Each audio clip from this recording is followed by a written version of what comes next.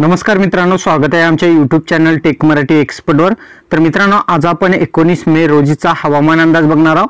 एकोणीस मे रोजी कोणकोणत्या जिल्ह्यामध्ये तुम्हाला ढगाळ हवामान पाहायला मिळेल आणि कोणकोणत्या जिल्ह्यामध्ये तुम्हाला पाऊस पाहायला मिळणार आहे? संपूर्ण जी माहिती आहे आपण या व्हिडिओच्या सहाय्याने बघणार आहोत. त्यासाठी हा व्हिडिओ शेवटपर्यंत नक्की बघा आणि चॅनलवर नवीन असाल चॅनलला सबस्क्राईब करा साईटच्या नोटिफिकेशन बेलला प्रेस करा. तर चला व्हिडिओ स्टार्ट करूया. तर मित्रांनो पाहू शकता तुम्हाला या जिल्ह्यामध्ये पाऊस पाहायला मिळणार आहे.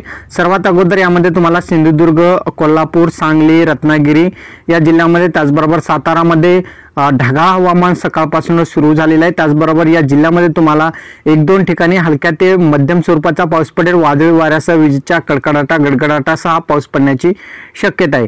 त्यानंतर पुणेमध्ये सुमा- तुम्हाला पाऊस पाहायला मिळणार आहे. त्यानंतर गोरेगाव खोपोली या भागामध्ये खेड मुंबईच्या काही भागामध्ये तुम्हाला पाऊस पाहायला मिळणार आहे.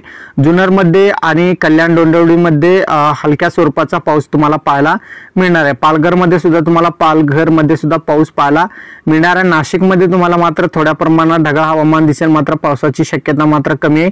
त्यानंतर अहमदनगर लातूर अहमदनगर औरंगाबाद या जिल्ह्यामध्ये सुद्धा तुम्हाला हलक्या ते मध्यम स्वरूपाचा वादळ वाऱ्यासह तुम्हाला पाऊस पाहायला मिळेल. बीड अकलूज लातूर सोलापूर या भागामध्ये सुद्धा तुम्हाला पाऊस पाहायला मिळणार आहे. त्यानंतर नांदेड परभणी हिंगोली या भागामध्ये सुद्धा तुम्हाला हलक्या ते मध्यम स्वरूपाचा पाऊस पाहायला मिळेल.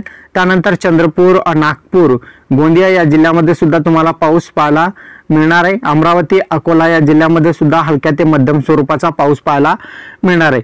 तर अशा प्रकारे बघितलं तर आज तुम्हाला या जिल्ह्यामध्ये तुम्हाला पाऊस पाहायला मिळणार आहे. वादळी वाऱ्यासह विजेच्या कडकडाटा गडगडाटासह तुम्हाला हा पाऊस पाहायला मिळणार आहे.